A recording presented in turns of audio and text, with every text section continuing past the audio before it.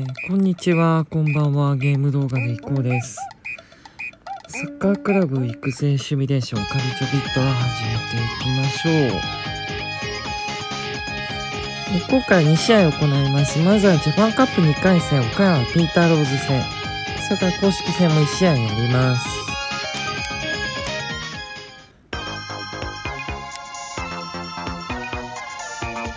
もう負けられないんで、このまま行きます。まあ、N2 とはいえ、油断できませんからね。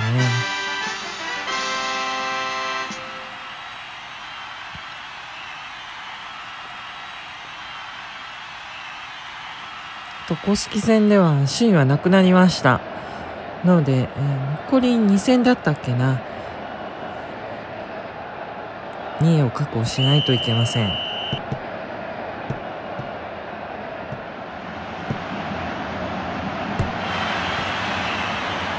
あやばいね。早くもピンチ。コーナーキック。警戒だ。あね外してくれた。まずは助かりました。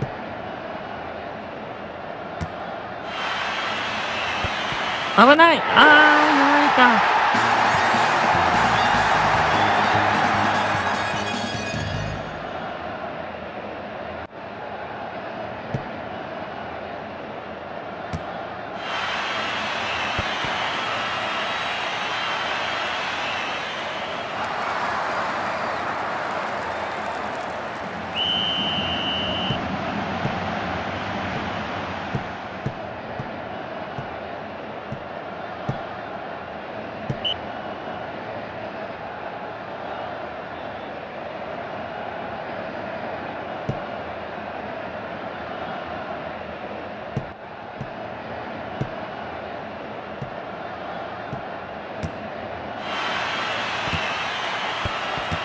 もう2点目とあよそういうのって。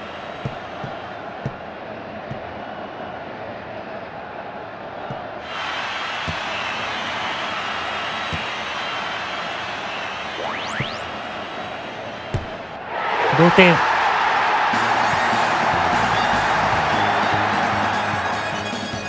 しっかり返してくれました。危ねえな。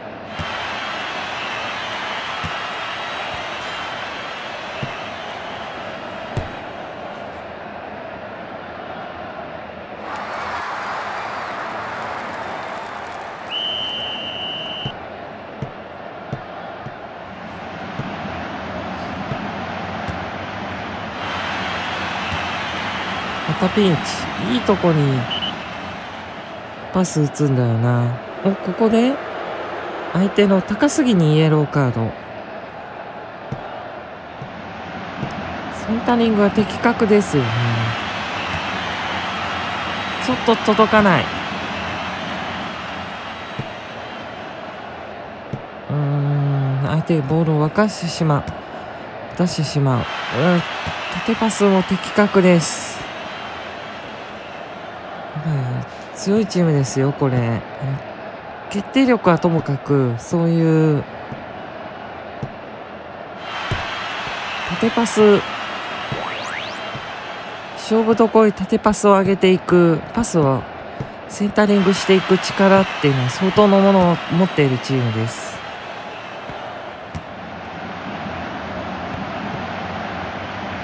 さあ残り前半もあとわずかですね。あいい縦パス。今回は及びませんでしたが。前半もあとわずか。おっと夏木がキャッチ。前半終了です。おさあとミオが使うてブーストいきましょう後半。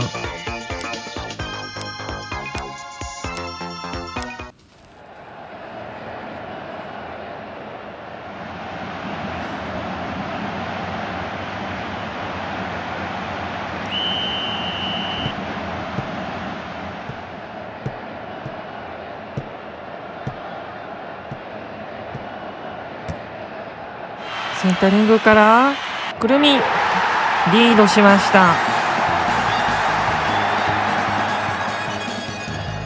ついに勝ち越し。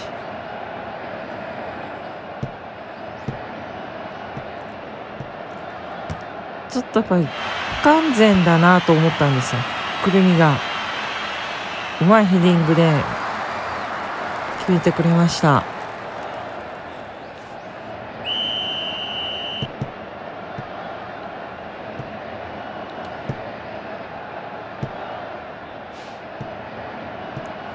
ナイスです。あこれ選手の交代考えてもいいかもな。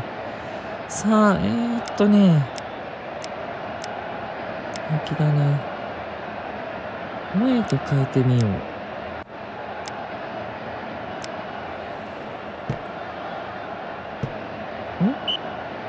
あオフサイド。これがありますからねサッカーには、うん、こちら交代枠を使い切っております。隙がちょっと出てきた？まあ、とはいえちゃんと相手はゾーンを守ってディフェンスしてますからね。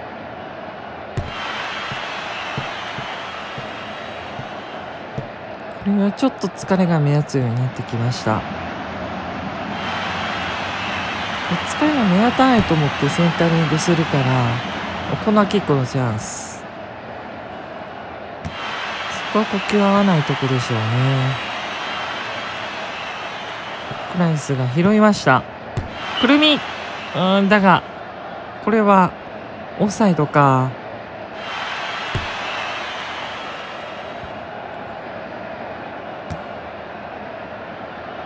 センタリング自身は良かったですよ。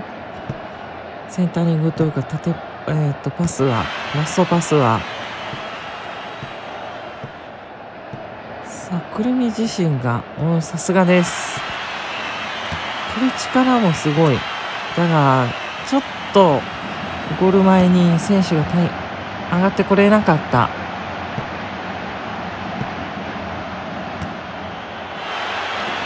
あっとこの言い打ちはちょっと危ない。小山。みゆきナイスです。みゆきは本当に守備で答えてくれます。そんなに前に出る必要ないって。あやかえ？何？プライス。緑！いやあやかがずっと前に出たのヒヤッとしましたがダメ押しで決めてくれました。彩香がずっと前に出るんですよね。彩香自身で決めるんかなと思ってそうもう決めてもよかったですよね彩香が。結果的にはクラリス渡して緑。決めてくれました。守備に回らないといけないからね。これでもうあの決まりでしょう。試合終了です。3対1、2回戦突破です。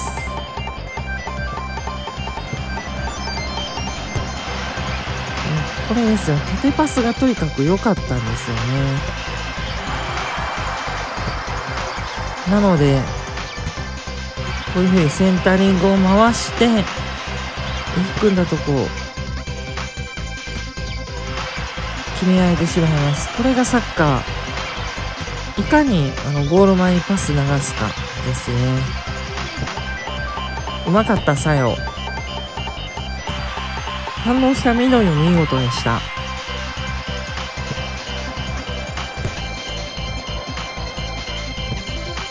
そして後半4分。ちょっとこれ綾香足りないかなと思ったんですがくるみがうまく対応しましたね。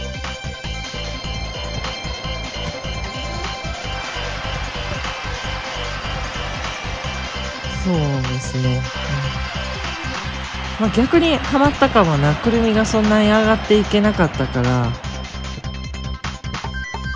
足りないなと思ったら桜井あなるほどディフェンダーに当たったとこを緑が決めたのか。あ綾香絡まれてたのか。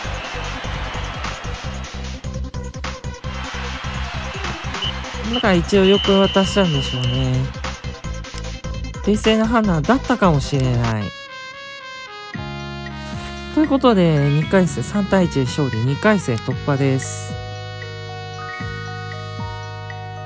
えっ、ー、と準々決勝は武蔵野放熱ですね。やっぱり強いチームですね。きっちり残ってます。これ勝ったキャピタル東京チェストん？チェスト鹿児島？浅草サンダーボルトにジャイアントキリング決めてるんですね。の勝者とぶつかります。チェスト鹿児島は確かかつては N1 にいたはず。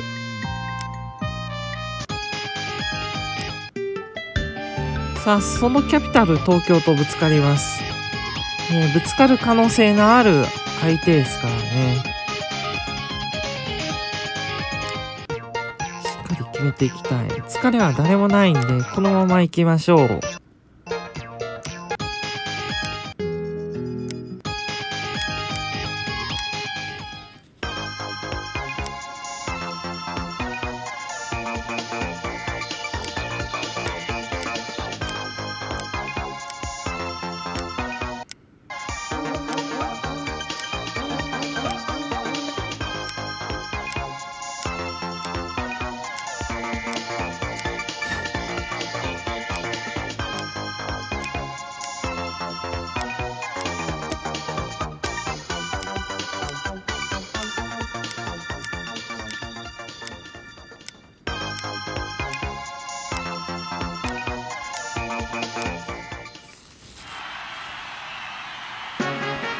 さあ、えー、21節あと2試合です。今3位なので2位を決めるためはもう当然勝つしかないです。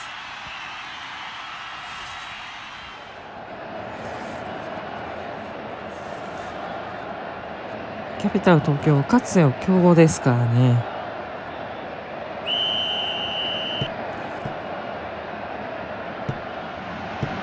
けるともう無理ですよね。厳しくなるっていうか引き分けでは厳しくなる。なんでよ。危ない。あーノーホイス助かった。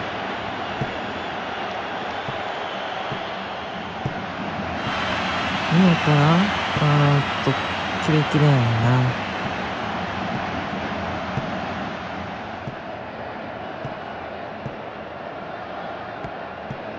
ノーフェイスる綾香綾香積極的前へ出ますね。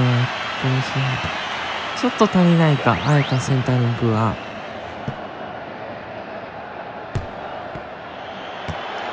あとちょっと苦しかったか。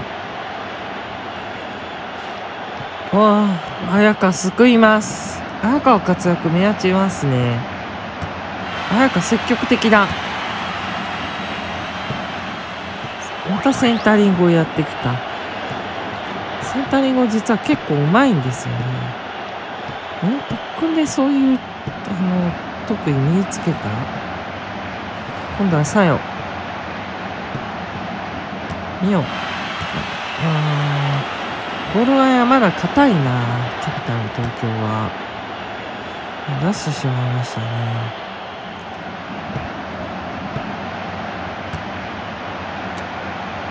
横跳び。危なかったですね。あくるみ。先制して。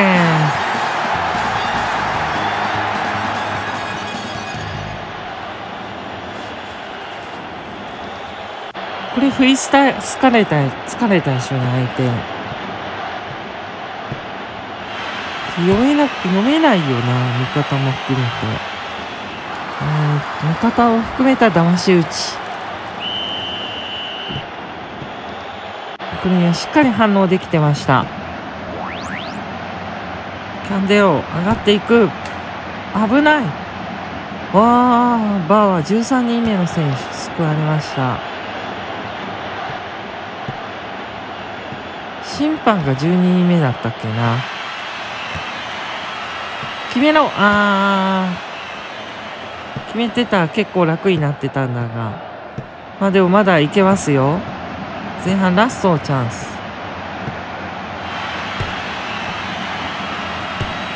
シュート。うーんダメっぽい。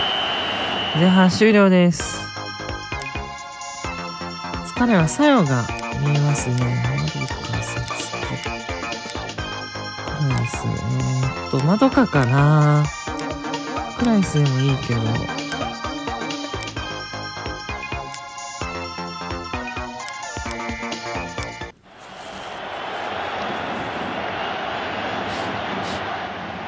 イゴールのワントップなんでイゴールにつなげる並びが中心ですね。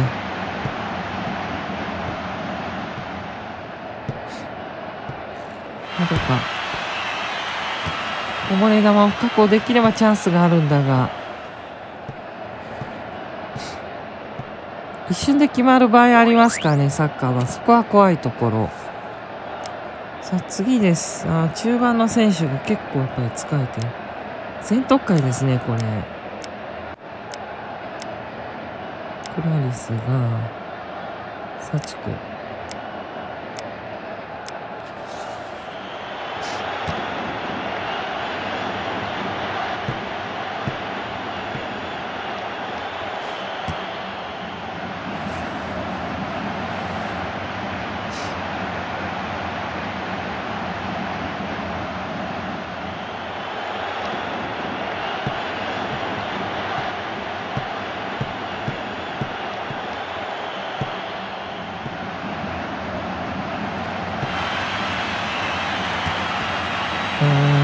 逆に候補数取られてしまった。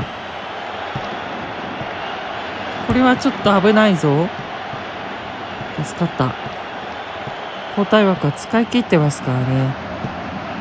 1点を守るか追加点を狙うか。うん。こちらボールをスローインを手に入れました。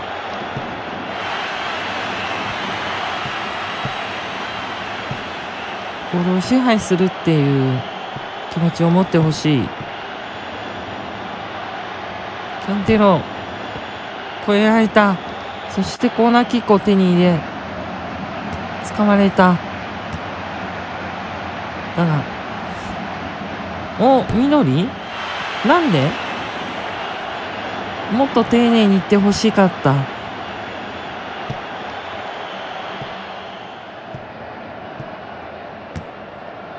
謎ロングシュート。あっとキャンディロ同点に追いつかれてしまった。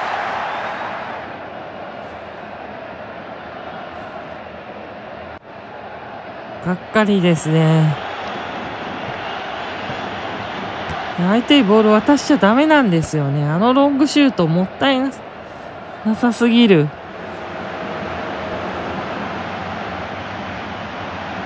キャネはすごいあの活動的な選手ですからね、なんとしてももう1点返さなければなりません。来年はちょっと、ストーブリーグになってしまう。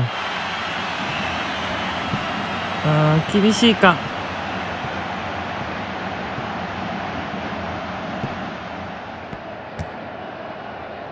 逆に点取られそうになった。さあ、1分。最後のチャンスでしょうね。ああ、試合が終わってしまった。なんで追いつきは厳しい。じゃあ35分。この萌えはちょっと強引でしたが、これに反応するくるみは見事。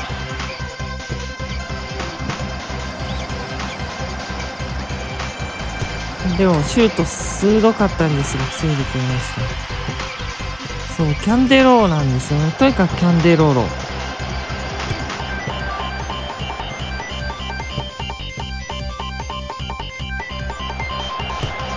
キャンデローロを警戒しとかないとダメだなこれは。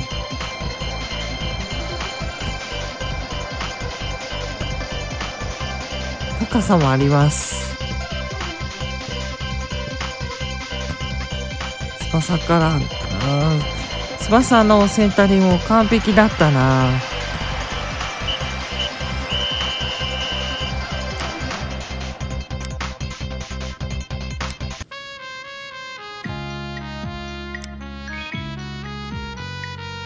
最後は、うん、まだチャンスはある。完全に消えたわけじゃない。筑波大釜の優勝は決まりですね。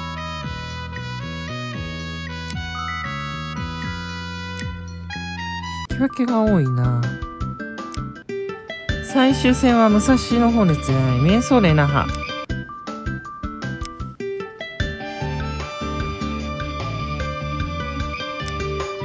ですね。えリマッセ大阪はどことやるんだ？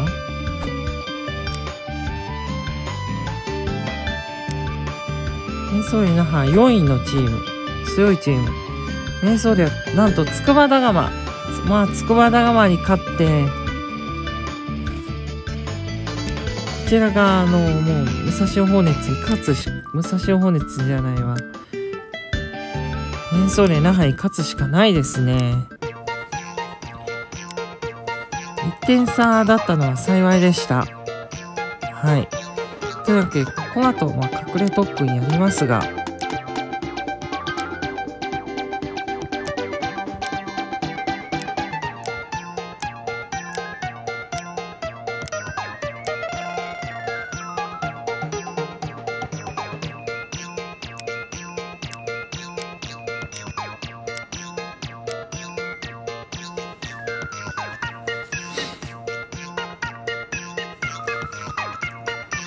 ひとまずは今回ここまでとしたいと思います。次回の日程は、えー、武蔵野放熱とやるってことだよなんか練習試合か練習試合は飛ばしていきたいと思います。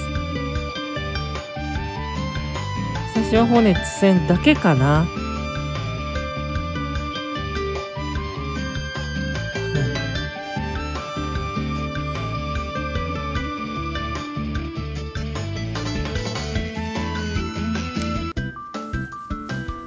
ちら集中したいと思いますのでよろしくお願いします。よろしければチャンネル登録、高評価、えーお願いいたします、えー概要欄にブログ、ツイッター、ツイッチへのリンクはなかったか。ブログ、ツイッター、プレイリストへのリンクございます。それでアクセスしていただければ幸いです。ツイッターへのフォローもぜひお願いします。カルチョビットはお送りいたしました。ご視聴いただきありがとうございました。ゲーム動画でいこうでした。